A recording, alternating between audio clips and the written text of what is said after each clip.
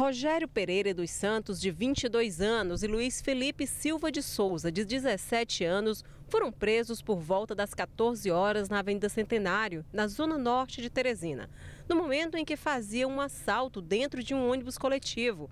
Com eles, a polícia encontrou um revólver e um aparelho de notebook que supostamente tenha sido roubado em outra situação.